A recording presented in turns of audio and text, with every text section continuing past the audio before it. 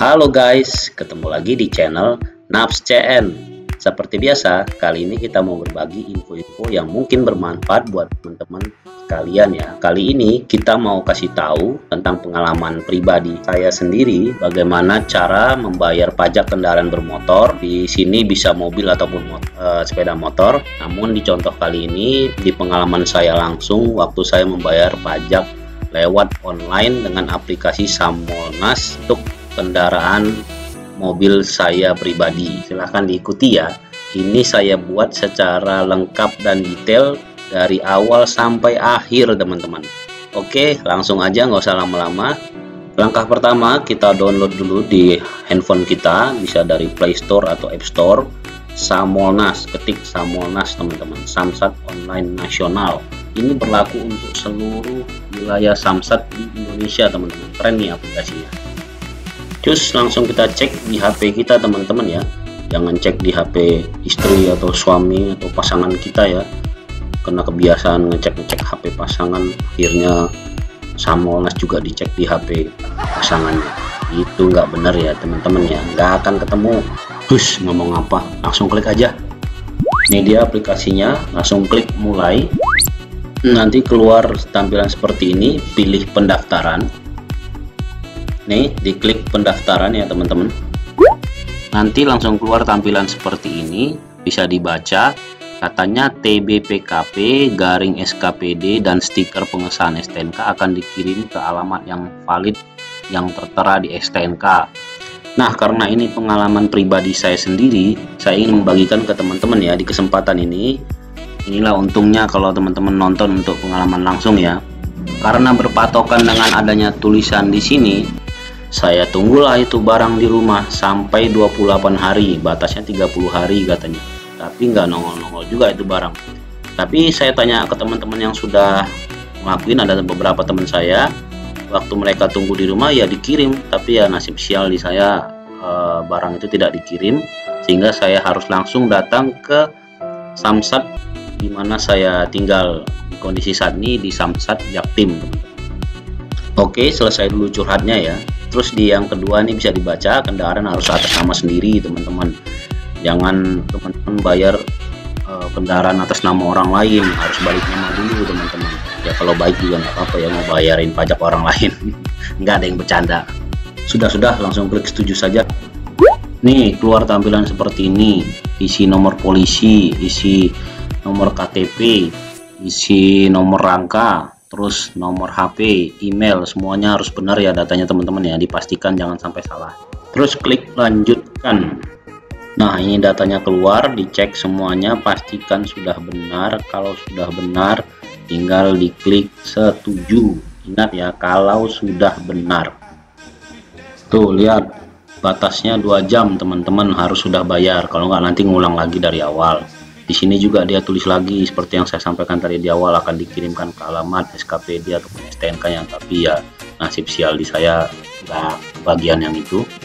Terus kalau sudah benar untuk dapatkan kode bayarnya kita klik setuju. Ini keluar kode bayarnya untuk kita salin atau kita catat kalau kita melalui ATM atau kalau melalui mobile banking tinggal disalin nanti tinggal paste di mobile banking kita teman-teman. Bapak Ibu bisa melihat jumlah uang yang ditransfer agar disiapkan ya. Jangan lupa. Suara saya sudah mirip menipu telepon itu belum ya? Lalu saya cek email saya dan sudah masuk teman-teman. Artinya sudah ngeling ya antara aplikasi dengan email. Saya cek datanya, ada keterangan seperti yang tadi lagi hampir sama seperti keterangan sebelumnya. Lalu saya ke aplikasi mobile banking saya. Di sini saya gunakan BNI Mobile Banking. Teman-teman terserah mau pakai bank apa atau mau ke ATM transfer itu metodenya hampir-hampir mirip ya. Tapi di sini saya jelaskan pengalaman saya dengan mobile banking. Kita klik langsung pembayaran. Di ATM juga ada menu pembayaran ya teman-teman. Lalu keluar seperti ini pilih Samsat. Ini mau di mana saja selagi-lagi saya katakan sama semuanya prosesnya. Pilih Samsat di sini kita pilih Samsat Nasional lalu klik input baru untuk masukkan kode bayarnya. Kode bayar yang sudah kita copy tadi atau sudah kita catat kita paste di sini ya teman-teman ya. Lalu kita klik lanjut. terus keluar tampilan validasi dicek benar-benar apakah sudah benar datanya apakah nilainya sudah benar kalau sudah benar sudah yakin klik lanjut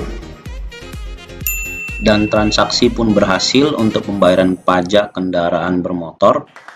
Di sini sudah ada keterangan bahwasannya stroke ini sebagai bahan untuk mengambil di samsat nantinya.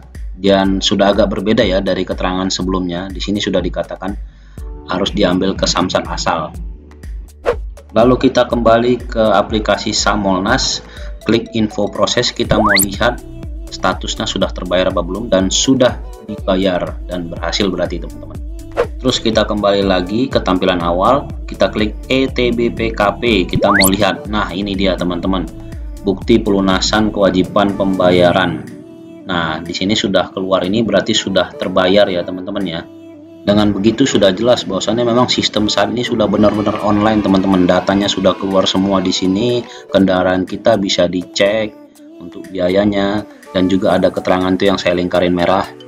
Ini bisa dibaca ketentuannya bahwasannya ini berlaku 30 hari. Ini juga untuk nantinya sebagai syarat untuk pencetakan SKPD asli di Samsat asal. Sudah lebih jelas ya teman-teman ya. Terus juga pengesahan STNK dan pencetakan DBPKP dan SKPD asli dilakukan sejak H plus 3 dari pembayaran. Baru bisa nanti untuk cetaknya. H plus 3 jangan buru-buru langsung ke Samsat untuk nyetak atau pengesahannya karena tiga hari setelah pembayaran ini baru boleh kita nyetaknya lalu kita back lagi kita klik E pengesahan STNK ini keluar terus langsung kita klik lihat. Lalu keluarlah STNK kita yang online. Bahwasannya ini berlaku 30 hari teman-teman. Karena STNK nya tidak kunjung dikirim akhirnya saya datang ke Samsat. Saya lihat banyak banget antrian. Untungnya saya sudah online. Ini sepertinya antrian untuk yang tidak online teman-teman dalam hati saya berkata mudah-mudahan yang online tidak seperti ini. Amin. Saya pun mulai masuk dengan protokol kesehatan pemeriksaan yang lengkap. Tara, di sini Polri cukup siap teman-teman, tempatnya keren banget, tidak ada antrian sama sekali di lantai 2 untuk pengurusan yang online, tidak ada antrian. Sepertinya belum banyak yang tahu cara online seperti ini, makanya tempat ini sepi teman-teman. Padahal ini hari kerja, hari Senin, jam 10 pagi saya ke sini tempatnya sepi beda banget dengan cara yang tidak online tadi. Ini bisa dilihat tempatnya keren banget ada tempat main anak-anak juga. Nah, sembari orang tuanya menyelesaikan urusannya anak-anaknya bisa menunggu sambil bermain. Asik sih ya Polri keren perlantas keren bisa mikir sampai situ.